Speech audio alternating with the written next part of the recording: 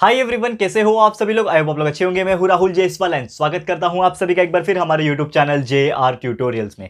Friends आज again आपके सामने one of the most important English का लेक्चर वीडियो मैं लेकर आ गया हूँ और आज हमें क्या पढ़ना है? One of the beautiful one of the toughest one of the most interesting topic of English and English grammar जिसका नाम है दोस्तों क्लॉजेस बहुत सारे लोग मुझे कंटिन्यूसली कॉमेंट कर रहे थे एंड इंग्लिश ग्रामर के तो देखा जाए तो 99 परसेंट टॉपिक मैंने ऑलरेडी बना दिया है, चाहे वो एडे क्वेश्चन टैग हो एरर फाइंडिंग हो, चाहे डुएस डायरेक्टेड के बहुत सारे क्वेश्चन हो, ठीक है? चेंज द वॉइस टेंसेज ऐसे कई सारे टॉपिक बस आप सर्च कर लेना, जो भी आप सर्च करना चाहते हो, जो भी आप पढ़ना चाहते हो, बस वो टाइटल नाम डाल के सर्च कर लेना यूट्यूब पे। आगे जे आर ट्यूटोरियल्स लिख देना, हमारे वीडियोस आपको दिख जाएँगे। बस वो देख के पढ़ाई कर लो दोस्तों, बहुत अच्छे से आपका एग्ज़ाम जाएगा। इंग्लिश ग्रामर का एक स्ट्रैटेजी वीडियो जस्ट मैंने दो से तीन दिन पहले अपलोड किया था, वो ज़रूर देख लेना, आपको हेल्प करेगा पूरा प्रिपेयर करने में। एक नक्शा क्रिएट किया हुआ, एक ब्लू तैयार किया हुआ है, वो स्ट्रैटेजी के थ्रू अगर आप जाते हो तो डेफिनेटली आपके एग्ज़ाम में अच्छे मार्क्स करने में आपको हेल्प मिलेगा। कई सारे और भी वीडियोस रिसेंटली मैंने अपलोड किए हुए तो वो भी चेकआउट कर लेना। साथ ही मैं आज का वीडियो जो बना रहा हूँ, जो कि है clauses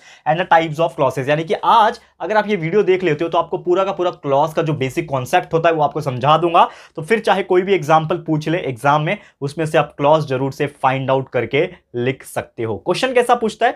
तो जो आपका जो पहला क्वेश्चन क्वेश्चन नंबर वन होता है, जिसमें दो से तीन टाइप के क्वेश्चन पूछते हैं डुएस डायरेक्टेड में, उसमें आपको क्लॉज ज़रूर पूछता है। ठीक है? आपको पूछता है आइडेंटिफाई द क्लॉज इसमें से एक सेंटेंस दिया रहेगा, वो सेंटेंस में से आपको क्लॉज को आइडेंटिफाई करना होता है। तो हम लोग आज इस वीडियो के थ्रू पूरा डिटेल जानेंगे एक्चुअल में ये क्लॉज होता क्या? ये जो वर्ड है क्लॉज इसका मीनिंग क्या होता है? तो हम बात करें क्लॉज सबसे पहला जो ये वर्ड है, मैं पूरा बेसिक पढ़ाने वाला हूँ दोस्तों, ठीक है ना? सिर्फ़ एग्ज़ाम पॉइंट ऑफ़ व्यू नहीं। मैं हमेशा कोई भी चीज़ अगर हमारे चैनल में पढ़ाता हूँ तो उसको कंसेप्चुअल नॉलेज के तौर पे पढ़ाता हूँ, ताकि आपको ये एग्ज़ाम प्लस आने वाले सभी एग्ज़ाम चाहे फ्यूचर में कभी भी आपको ज़रूरत पड़े तो आपको ये टॉपिक समझा हुआ रहेगा, ठीक है ना? हम लोग एकदम रश रश करके नहीं पढ़ाएँगे, चलो एग्ज़ाम आ रहा है एग्ज़ाम आ रहा है, फटाफट पढ़ाओ। हमारा कॉन्सेप्ट बहुत पहले से ही दोस्तों, यही खासियत है हमारे चैनल की, और आप देखोगे हमारे चैनल के अंदर जाके लगभग दो हज़ार से ज़्यादा वीडियो प्रेजेंट है, ठीक है? तो हर चीज़ हम लोग प्रोवाइड कर रहे हैं just for you just to keep you on the top आपको टॉप में पहुंचाना है, आपको कंसेप्चुअल नॉलेज आपके दिमाग में होना चाहिए।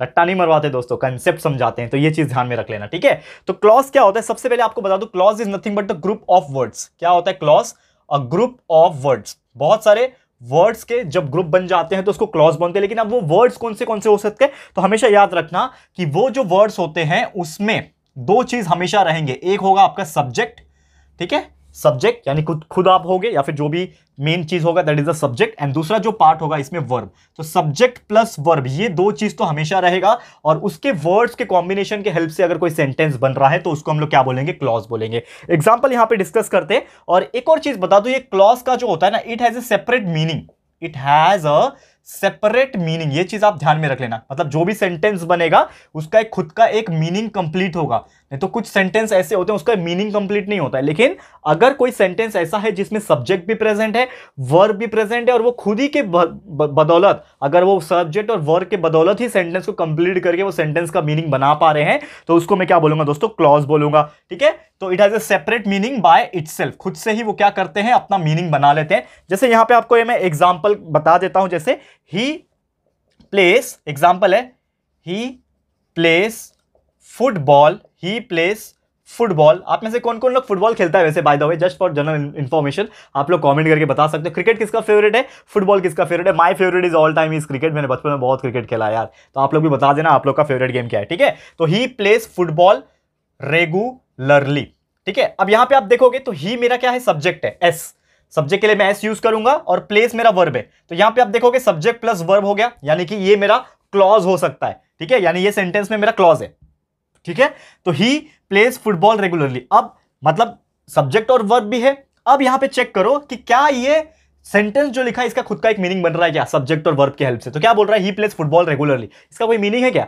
ही प्लेस फुटबॉल रेगुलरली हाँ यार मीनिंग तो है कि इसका मतलब ये होता है कि वो मतलब जो भी लड़का होगा ही मतलब कोई लड़का होगा ही प्लेस फुटबॉल रेगुलरली यानी वो रोज फुटबॉल खेलता है रेगुलरली फुटबॉल खेलता है। तो इसका एक मीनिंग है, इसका मतलब ये क्या हो गया? एक तरीके का क्लॉज हो गया, समझ में आ गया? तो क्लॉज का बेसिक मीनिंग आपको समझ गया हो गया कि हमेशा कोई भी सेंटेंस में अगर सब्जेक्ट और वर्ब प्रेजेंट है और उसका मीनिंग जो है पूरा प्रॉपर तरीके से हमें पता चल रहा है कंप्लीट मीनिंग उसमें प्रेजेंट है उस सेंटेंस में तो समझ जाना कि वो क्या है क्लॉज है। तो क्लॉज का बेसिक मतलब आपको समझ में आ गया होगा, लेकिन इतने से हमारा काम नहीं चलने वाला। एग्ज़ाम में क्वेश्चन पूछते हैं कि आइडेंटिफाई करो कि ये कौन सा टाइप का क्लॉज है। इसका मतलब हमें क्लॉज के टाइप्स को भी पढ़ना पड़ेगा। तो अब आ जाते हैं हम लोग। क्लॉज तो समझ में आ गया। अब पढ़ते हैं कि कौन कौन से टाइप्स के क्लॉज होते हैं। इसके ऊपर नज़र डालते हैं। ठीक है? आप ध्यान लगा के देखना। इसको मैं अभी रफ कर रहा हूँ। आप लोग को अगर जनरल नॉलेज के लिए इसको नोट डाउन करना है या फिर स्क्रीनशॉट लेना है तो ले सकते हो। ठीक है? चलो, अभी मैं रफ कर लेता हूँ क्योंकि अभी मैं आपको पढ़ाऊँगा टाइप्स ऑफ़ क्लॉज कौन कौन से टाइप्स के क्लॉज होते हैं? इसको थोड़ा सा बारीकी से डिटेल में डिस्कस करेंगे हम लोग। सबसे पहले हेडिंग डाल देता हूँ। That is types of clause अब देखो, इसको थोड़ा ध्यान से समझो। तो टाइप्स ऑफ़ क्लास में बात करें, दो मेन टाइप होते हैं और वो मेन टाइप के अंदर भी बहुत सारे टाइप्स है। तो सबसे पहला जो मेन टाइप है, वो है दोस्तों इंडिपेंडेंट इंडिपेंडेंट ये वर्ड आपने कभी नहीं सुना होगा इंडिपेंडेंट क्लॉज क्योंकि ऐसा डिटेल में आपको कोई पढ़ाएगा नहीं जल्दी। इंडिपेंडेंट क्लॉज क्या होता है? ये बताऊँगा, उसके बाद एक और होता है डिपेंडेंट तो वन बाय वन डिस्कस करेंगे तो टाइप्स ऑफ़ क्लॉज में दो मेन चीज़ होते हैं इंडिपेंडेंट एंड डिपेंडेंट तो सबसे पहला है इंडिपेंडेंट क्लॉज तो इंडिपेंडेंट क्लॉज की बात करें, कि ये जो होगा एक कंप्लीट सेंटेंस बनाएगा खुद से। कंप्लीट सेंटेंस जो होगा, इसके अंदर आ जाएगा। यानी कि जो भी वर्ड आपको लिखा है, जो भी सेंटेंस लिखा है, उसका एक खुद का क्या होगा? एक कंप्लीट सेंटेंस का मीनिंग होगा। एक कंप्लीट सेंटेंस मीनिंग होगा, वो भी खुद से बना देगा। इटसेल्फ ठीक है, मैं प्रॉपर तरीके से वर्डिंग्स आपको नहीं दे रहा हूँ जस्ट समझाने के लिए बता रहा हूँ, इसके लिए मैं पूरा पूरा डेफिनेशन नहीं लिखा रहा हूँ, मैं शॉर्टकट में लिखा रहा हूँ, ठीक है ना, इतना डेफिनेशन पूछता नहीं एग्ज़ाम में, बस उसका मतलब समझ में आना चाहिए हमें, ठीक है? तो इंडिपेंडेंट क्लॉज का मतलब होता है कि ऐसा क्लॉज मतलब जिसमें जो सेंटेंस होंगे, जिसका मीनिंग जो होगा वो कंप्लीट तरीके से फॉर्मेशन होगा, वो भी खुद से मीनिंग यानी किसी और चीज़ को डालने की वहाँ पर ज़रूरत नहीं पड़ेगी, ठीक है? ये चीज़ हो गया। अब इसके अंदर कोई और क्लॉज जैसे मैंने बोला किसी और चीज़ की डालने की ज़रूरत नहीं है मतलब doesn't need does not required any other type of clause does not required any other clause. Does not require any other clause. मतलब मुझे और कोई क्लॉज को इस चीज़ में डालने की ज़रूरत नहीं ताकि उसका मीनिंग कंप्लीट हो जाए, क्योंकि इसमें खुद ही वो अपना, खुद का मीनिंग कंप्लीट कर रहा है। सब्जेक्ट और वर्ब तो रहेंगे, क्योंकि क्लॉज है तो क्लॉज में तो सब्जेक्ट और वर्ब होते ही हैं। खुद का मीनिंग वो खुद बना रहे हैं और किसी भी दूसरे टाइप के वर्ड्स यानी दूसरे टाइप के क्लॉज की इसमें ज़रूरत नहीं है। अब इसको एग्जांपल से समझते हैं। डेफिनेशन तो आपको समझ में आ गया होगा, लेकिन आप ज़्यादा डिटेल में जाते हैं और एग्जांपल के ऊपर भी नज़र डालते हैं ताकि आपको मैं समझा सकूँ। जैसे कि यहाँ पे एक स्टेटमेंट दिया हुआ है you sit down you sit down अब मुझे एक बात बताओ कि एक सेंटेंस लिखा हुआ है यू सिट डाउन इसका कोई मीनिंग है क्या? आप बोलो सर इसका तो मीनिंग है। मतलब बोला है क्या? तुम बैठ जाओ। इसका मीनिंग तो यही होता है यू सिट डाउन का मतलब होता है, तुम बैठ जाओ। तो अगर तुम बैठ जाओ, बोल रहा है, इसका मतलब क्या है कि ये एक कंप्लीट सेंटेंस है, इसका खुद का एक मीनिंग है, और इसमें आप देखोगे तो सब्जेक्ट और वर्ब दिया हुआ है। This is the subject this is the verb you subject है सीट क्या है? सिट डाउन मतलब बैठ जाओ तो ये वर्ब है। समझ में आ गया? तो इसमें सब्जेक्ट भी है वर्ब भी है कंप्लीट सेंटेंस भी हो रहा है, और ये सेंटेंस को कंप्लीट करने के लिए मुझे कोई और अदर क्लॉज की ज़रूरत नहीं क्योंकि ये खुद एक अपना कंप्लीट स्टेटमेंट सेंटेंस जो है बना रहा है। तो देयर फोर ये जो क्लॉज होगा, वो इंडिपेंडेंट है, क्योंकि ये आज़ाद है, ये किसी और के ऊपर डिपेंडेंट नहीं है, इसने किसी और के ऊपर भरोसा नहीं किया है कि भाई, मेरे साथ कोई और आ जाओ और मैं पूरा सेंटेंस बन जाऊँ। ऐसा किसने नहीं बोला? ये भाई इंडिपेंडेंट है भाई, अकेला रहेगा, मस्त रहेगा। इंडिपेंडेंट क्लॉज है ये। समझ में आ गया? इसीलिए इसको क्या बोलते हैं? इंडिपेंडेंट क्लॉज वैसे जो हमारा दूसरा टाइप का क्लॉज है, यहाँ पे मैं पढ़ाता हूँ आपको। ध्यान देना ध्यान देना, जो सेकेंड टाइप ऑफ़ क्लॉज है, इसका नाम रहेगा डिपेंडेंट क्लॉज क्या नाम रहेगा? Dependent clause. क्यों नाम है इसका डिपेंडेंट क्लॉज इसको थोड़ा सा बारीकी से समझो। डिपेंडेंट क्यों है? क्योंकि नाम में ही डिपेंडेंट है तो मतलब ये बंदा ना, ये क्लॉज ना किसी और के ऊपर डिपेंडेंट रहेगा। तो सबसे पहली बात, इसका डेफिनेशन पॉइंट ऑफ़ व्यू बोलूँ तो इसमें ना कोई भी कंप्लीशन नहीं होगा। No completion of sentence no completion of sentence by it यानी कंप्लीट मीनिंग जो होगा ना, वो नहीं बन पाएगा। कंप्लीट मीनिंग नहीं बना पाएगा वो। जैसे ये क्या था? कंप्लीट सेंटेंस का मीनिंग खुद से ही बना रहा था। इसको और किसी की ज़रूरत नहीं। यू सिट डाउन मतलब खुद का ही मीनिंग उसके पास है। सब्जेक्ट प्लस वर्ब भी उसके पास है। किसी और की ज़रूरत नहीं। लेकिन इसमें कोई भी जो वर्डिंग्स होंगे, जो सेंटेंस होंगे, ये खुद का मीनिंग खुद नहीं बना पा रहे। सेंटेंस का कंप्लीशन नहीं हो पा रहा है। ठीक है? यहाँ पे इसीलिए इसको किसी और के ऊपर डिपेंडेंट होना चाहिए। किसी और के ऊपर डिपेंडेंट होना पड़ेगा। तो it depends on other clause किसी और क्लॉज के ऊपर वो डिपेंडेंट रहेगा for complete its sentence and meaning for its completion of sentence and meaning तो ये किसके ऊपर डिपेंड करेगा? अदर क्लॉज अदर क्लॉज कौन है? दो ही तो क्लॉज है, एक इंडिपेंडेंट है, एक डिपेंडेंट है। तो ये किसके ऊपर डिपेंडेंट करेगा? ये इनडिपेंडेंट के ऊपर डिपेंड करेगा। इनडिपेंडेंट के ऊपर ये क्लॉज जो है, वो डिपेंड करेगा। यानी कि इंडिपेंडेंट तो अकेला है ही, लेकिन डिपेंडेंट जो है ना, वो डिपेंडेंट इंडिपेंडेंट के ऊपर डिपेंडेंट है। देखो कितना डिपेंडेंट वर्ड आ रहा है। क्या आ रहा है? डिपेंडेंट इंडिपेंडेंट के ऊपर डिपेंडेंट है। ये चीज़ ध्यान में रखना। एग्ज़ाम्पल समझाते हैं, आपको और बेसिक तरीके से समझ में आएगा। समझ लो एक एग्ज़ाम्पल है, क्या बोला यहाँ पे?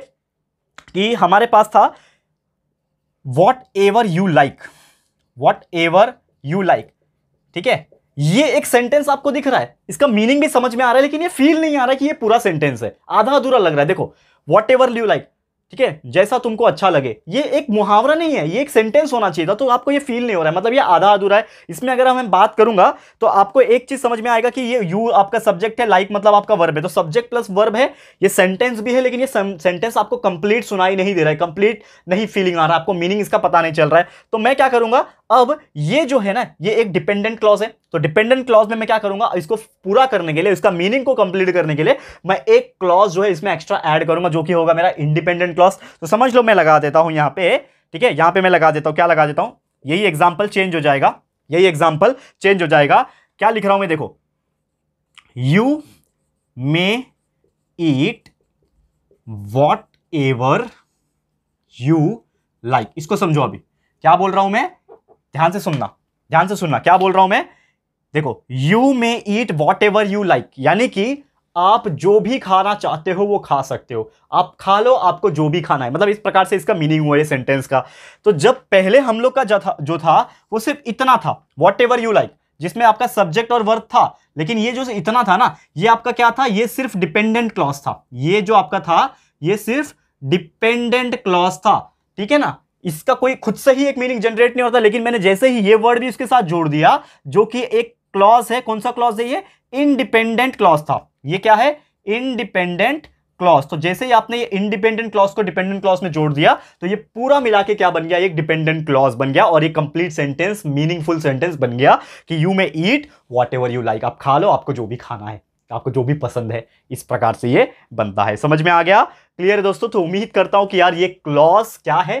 कौन से दो मेन टाइप के क्लॉज है ये आपको समझ में आ गए होंगे। लेकिन अभी हमारा लेक्चर कंप्लीट नहीं हुआ है, अभी तो असली खेल शुरू हुआ है, क्योंकि आपके एग्ज़ाम में जो क्वेश्चन सेंटेंस दिए होते हैं ना, उसमें जो हमें आइडेंटिफाई करना होता है कि ये कौन सा क्लॉज है, वो डिपेंडेंट या फिर इंडिपेंडेंट क्लॉज को आइडेंटिफाई नहीं करना होता है।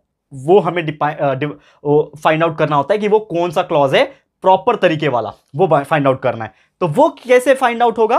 क्योंकि अभी और क्लॉजेज हमें पढ़ना बाकी है तो मैं आपको बता दूँ कि ये जो डिपेंडेंट क्लॉज जो अभी अभी हमने पढ़ा, ये डिपेंडेंट क्लॉज भी तीन टाइप के होते हैं। नाउन क्लॉज एडजेक्टिव क्लॉज और एक होता है एडवर्ब क्लॉज तो ये तीन मेन टाइप के क्लॉज जो है हम लोग पढ़ने वाले हैं इस वीडियो के थ्रू इसको एंड तक देख लेना और भी बचा कुचा पार्ट है कंप्लीट हो जाएगा क्लॉज हमारा, ठीक है? तो ध्यान से देख लेना, अभी मैं इसको मिटाने जा रहा हूँ। चलो, पहले सबसे पहले इसको ध्यान से लिख लो। अगर आप लिखना चाहते हो तो आप लिख लो इसको। उसके बाद हम लोग इसको रफ करेंगे। ध्यान लगाओ, ठीक है? ये हो गया। टाइप्स ऑफ़ क्लॉज हो गया। अब इंडिपेंडेंट और डिपेंडेंट हो गया। अब ये जो डिपेंडेंट है, इसी को और ज़्यादा क्लासीफाई करेंगे। डिपेंडेंट को भी और क्लासीफाई करेंगे। चलो। ध्यान लगा के देखना, ठीक है? ध्यान से देखो।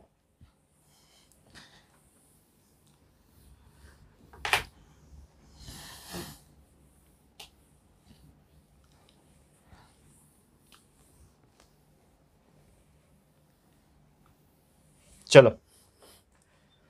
टाइप्स ऑफ़ क्लॉज ही हम लोग पढ़ रहे थे, लेकिन हम लोग जो बात कर रहे थे डिपेंडेंट क्लॉज की डिपेंडेंट क्लॉज की जो हम लोग बात करते हैं, अब ये जो डिपेंडेंट क्लॉज है तो आपको बता दूँ, इसके पास कितने होते हैं? तीन टाइप्स होते हैं।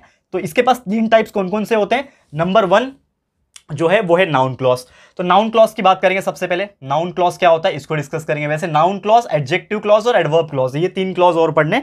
तो सबसे पहले हम लोग नाउन क्लॉज की बात करेंगे। ये क्या होता है? It is a group of words जैसे हमने स्टार्टिंग में क्लॉज का डेफिनेशन क्या बोला कि ये क्या है? ग्रुप्स ऑफ़ वर्ड्स है, जिसमें सब्जेक्ट और वर्ब होता है। तो ये भी क्या हो जाएगा? It is a group of words having subject plus verb यानी सब्जेक्ट और वर्ब दोनों रहेंगे having subject plus verb group of sentence है, जिसमें सब्जेक्ट भी रहेगा वर्ब भी रहेगा, लेकिन ये जो सेंटेंस रहेगा या फिर ये जो क्लॉज रहेगा, ये किसके जैसा बिहेव करेगा? ये बिहेव करेगा as a noun it acts as a noun यानी कि हम लोग क्या बोल सकते हैं कि ये क्या करता है and acts as a noun यानी जो भी इसके अंदर वर्डिंग्स होंगे, वो नाउन के जैसा बिहेव करेंगे। तो कैसे बिहेव करेंगे? कि एग्जांपल आपको मैं यहाँ पे एक्सप्लेन करता हूँ, आपको ज़्यादा बेटर वे में समझेगा। क्या है example I fear that I will fail देखो यहाँ पे। I fear that I will fail तो यहाँ पे ये एग्ज़ाम्पल दिया हुआ है, समझ लो ये एग्ज़ाम्पल एग्ज़ाम में पूछा जाएगा और आपको बोलेगा कि इसमें से आप नाउन क्लॉज को पहचानो। ठीक है? या फिर इसमें से बोलेगा कि कौन सा क्लॉज है, इसमें से पहचानो। आपको ऐसा पूछ देगा क्वेश्चन में। Identify the type of clause तो कैसे करोगे? तो सबसे पहले आपको यह समझना पड़ेगा कि इसमें सब्जेक्ट क्या है और वर्ब क्या है। तो अगर आप थोड़ा सा भी ध्यान लगाओगे इसमें, थोड़ा सा भी अगर ध्यान लगाओगे तो आपको समझ में आएगा कि I fear that I will be subject fail is the verb ठीक है? I is the subject fail is the verb तो यहाँ पे आपको समझ में आ रहा है कि ये एक नाउन जैसा बिहेव कर रहा है, क्योंकि आई फियर ठीक है? आई फियर हो गया, लेकिन दैट आई विल फेल तो दैट आई विल फेल यानी कि ये क्या है? एक नाउन के जैसे रिप्रेजेंट हो रहा है। एक सेंटेंस का मीनिंग भी बता रहा है। I fear that I will fail तो यहाँ पे आपका सब्जेक्ट प्लस वर्ब ये जो सेंटेंस होगा, इतना ये क्या बन जाएगा आपका? ये बन जाएगा आपके लिए नाउन क्लॉज क्या बन जाएगा? नाउन क्लॉज बन जाएगा। क्लियर है? समझ में आ गया दोस्तों? तो नाउन क्लॉज क्या है? एक और एग्ज़ाम्पल बताता हूँ ताकि और ज़्यादा बेटर वे में समझा सकूँ मैं। समझ लो, एक एग्ज़ाम्पल है। दैट यू हैव कम क्या बोल रहा है? That you have come that you have that you have come pleases me इसका मीनिंग ये होता है, सबसे पहले तो बता दूँ, कि आप आए तो मुझे बहुत ही अच्छा खुशी हुई प्लीज़ मुझे प्लीज़ हुआ, ठीक है ना? अब इसमें मुझे पहचानना है कि कौन सा नाउन क्लॉज है, या फिर identify the types of clause हमें पूछा है। तो यहाँ पे आप देखोगे, ठीक है?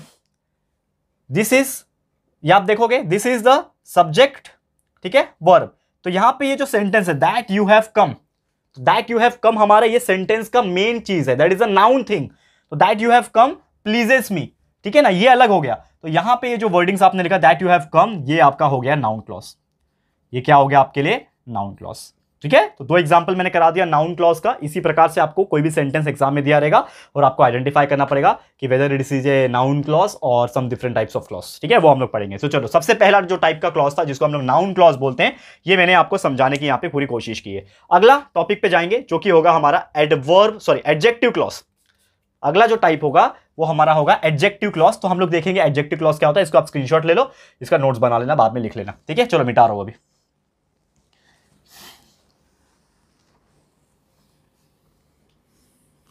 ठीक है? देखो ध्यान से। ध्यान लगा के देखना। सेकेंड टाइप जो दूसरा टाइप है हमारा बी नंबर सेकेंड नंबर जो भी आप बोल लो एडजेक्टिव क्लॉज ठीक है? एडजेक्टिव क्लॉज तो जैसे मैंने आपको स्टार्टिंग में एक चीज़ बताया था क्लॉज का definition it is a group of words तो ये भी हमारा डेफिनेशन ऐसे ही बोलूँगा मैं। That is it is a group of words कौन कौन सा वर्ड्स रहेगा? सब्जेक्ट रहेगा प्लस वर्ब रहेगा। सब्जेक्ट प्लस वर्ब ठीक है? It is a group of words having the subject plus verb लेकिन ये किसके जैसा एक्ट करेगा? It acts as acts ad as adjective adjective का मीनिंग आप जानते हो? That is it gives the quality of the noun adjective gives the quality of the noun this is called what we call as the adjective ना? यही पता चलता है हमें। ठीक है? अब यहाँ पे एडजेक्टिव क्लॉज की बात करें हम लोग। ग्रुप ऑफ़ वर्ड्स है।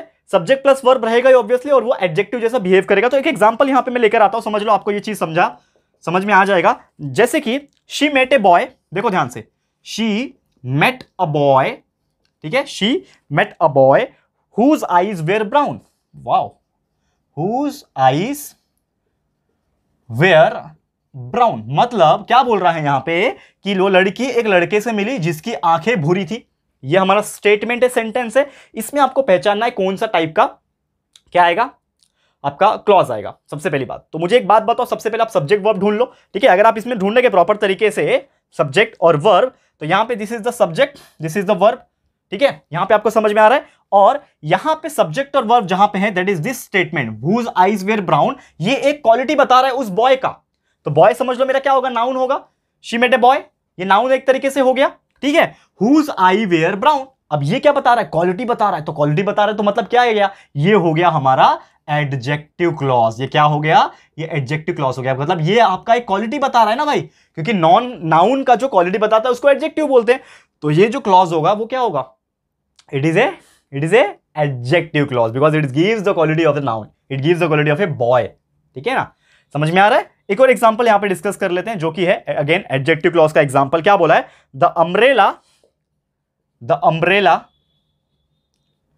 the umbrella which has a, which has a broken handle, which has a broken handle is mine. ठीक है? बहुत ही सिंपल बहुत ही बेहतरीन एग्जांपल इसमें आपको क्लॉज को आइडेंटिफाई करना है। ठीक है? क्लॉज को कैसे आइडेंटिफाई करोगे? The umbrella which has a broken handle ये अम्ब्रेला है मतलब ये नाउन हो गया आपके लिए। ठीक है ना? सब्जेक्ट प्लस वर्ब अगर मैं बात करूँ यहाँ पे, अगर आप ध्यान दोगे यहाँ पे कि ब्रोकन मेरा वर्ब हो जाएगा सब्जेक्ट मेरा हैंडल है यहाँ पे। ठीक है? तो मतलब which has a broken handle ये आपका क्लॉज हो गया। और ये क्या बता रहा है? हैंडल के बारे में मतलब अम्ब्रेला के बारे में क्वालिटी बता रहा है। अम्ब्रेला का क्या है? ये ब्रोकन हैंडल है। मतलब एक छाता होगा, छाता का टूटा हुआ हैंडल तो ये एक क्वालिटी बता रहा है। मतलब ये जो स्टेटमेंट हो गया इतना, ये बन जाएगा हमारा एडजेक्टिव ठीक है? क्या बन जाएगा? एडजेक्टिव क्लॉज समझ में आ रहा है? तो कितना आसान होता है क्लॉज को आइडेंटिफाई करना? एक से दो क्वेश्चन तो डेफिनेटली आपके एग्ज़ाम में पूछते हैं दो मार्क्स आपके कंफर्म हो जाएँगे। इतना बेहतरीन तरीके से हमने ये क्लॉज को पढ़ा दिया है। ठीक है? नाउन क्लॉज हो गया एडजेक्टिव क्लॉज हो गया, एक आखिरी क्लॉज बचा हुआ है जिसको हम लोग बोलते हैं एडवर्ब क्लॉज तो ये क्या होता है? एडवर्ब क्लॉज क्या होता है? इसको भी थोड़ा सा डिस्कस कर लेंगे एंड फिर आज का जो लेक्चर है दोस्तों, बहुत ही सुंदर तरीके से हमारा समाप्त हो जाएगा कंप्लीट हो जाएगा। बस आप लोग अच्छे से प्रैक्टिस करते रहना और हमारे पूरे के पूरे इंग्लिश ग्रामर के वीडियोस ऑलरेडी प्लेलिस्ट में है इंग्लिश ग्रामर रिवीजन वीडियोस के वीडियोस प्लेलिस्ट में है तो बस बस आप लोग क्या करो, पढ़ाई करते रहो, ज़्यादा मैं आपको बोलूँगा नहीं, ठीक है ना? आपका काम है हमारे वीडियोस को ढूंढना सर्च करके आप ढूंढोगे तो आपको मिल जाएगा, ठीक है? सर्च करके आप ढूंढोगे तो आपको मिल जाएगा, बस अच्छी तरीके से आप क्या करते रहो, पढ़ाई करते रहो, ठीक है? चलो, आते हैं हमारे आखिरी टॉपिक के ऊपर, जिसका नाम है दोस्तों एडवर्ब क्लॉस तीसरा। तीसरा बोल लो सी बोल लो, जो भी बोलना है बोल लो। क्या नाम है? एडवर्ब एडवर्ब क्लॉस देखो अभी इसको ध्यान से एडवर्ब क्लॉज की बात करते हैं हम लोग। ठीक है? तो क्या बोल रहा है? It is a group of words same definition क्या है ये? ग्रुप ऑफ़ वर्ड्स क्या रहेंगे ग्रुप ऑफ़ वर्ड्स में? सब्जेक्ट रहेगा वर्ब रहेगा। ठीक है, चलो मान लिया। लेकिन ये कैसा बिहेव करेगा? It acts as adverb adverb जैसा बिहेव करेगा, क्या होता है एडवर्ब एडवर्ब क्या होता है? Which gives the quality of the verb which gives the quality of verb जैसे नाउन की क्वालिटी जो देता है उसको एडजेक्टिव बोलते हैं वैसे वर्ब की क्वालिटी जो बोलता है उसको हम लोग क्या बोलते हैं दोस्तों? उसको हम लोग क्या बोलते हैं? एडवर्ब बोलते हैं। तो एक एग्ज़ाम्पल से समझाने की कोशिश करते हैं। Let suppose there is example which is given here क्या बोला है? They slept when the night come क्या बोल रहा है? They slept when the night come यानी कि जब रात आ, आ गई रात हो गई तो वो हो गए। इस प्रकार से हमें दिया हुआ है they slept when the night came ठीक है? तो यहाँ पे आप देखोगे, ये जो वर्ड है वेन द नाइट केम ये किसके बारे में बता रहा है? स्लीपिंग क्वालिटी के बारे में बता रहा है, यानी कि सो गए, ये आपके आपके लिए क्या है ये वर्ब है? सो गए मतलब क्या है ये आपके लिए वर्ब है। और वर्ब के लिए मतलब क्वालिटी कौन बता रहा है? When the night come night आ गया तो वो सो गए। तो ये आपके लिए क्या हो जाएगा? ये आपके लिए हो जाएगा एडवर्ब क्लॉस क्या हो जाएगा? एडवर्ब क्लॉस हो जाएगा। वेन द नाइट कम और एक एक आखिरी एग्ज़ाम्पल है जो कि है दोस्तों, क्या बोल रहा है? I will give you money I will give you money so that you can so that you can buy milk यानी कि मैं आपको पैसा दूँगा ताकि आप अपना दूध खरीद सको। अब इसमें एडवर्ब क्या हो गया? तो यहाँ पे अगर आप देखोगे कि I will give you the money ये हो गया। मैं मनी दूँगा मतलब ये एक्शन हो गया मतलब ये वर्ब हो गया, लेकिन उसकी क्वालिटी कौन बता रहा है? ये बता रहा है। So that you can buy milk तो ये क्या हो जाएगा हमारे लिए? एडवर्ब क्लॉस हो जाएगा। क्या हो जाएगा? एडवर्ब क्लॉस तो एडवर्ब क्लॉस क्या है? So that you can buy milk clear समझ में आ गया दोस्तों? तो उम्मीद करता हूँ कि ये चीज़ आपको बहुत बेहतरीन तरीके से समझ में आ गया। ऐसे कई सारे और एग्जाम्पल्स है, जो कि आपको बहुत सारी जगह मिल जाएँगे। हमने हमारे डोएस डायरेक्टेड में भी काफ़ी सारे एग्ज़ाम्पल कराए हुए हैं। तो जाके हमारे डोएस डायरेक्टेड के वीडियोस जो हमने ये प्रीवियस दो दिन में बहुत सारे अपलोड किए हुए हैं तो जाके देख लेना हमारे यूट्यूब चैनल जे ट्यूटोरियल्स के ऊपर।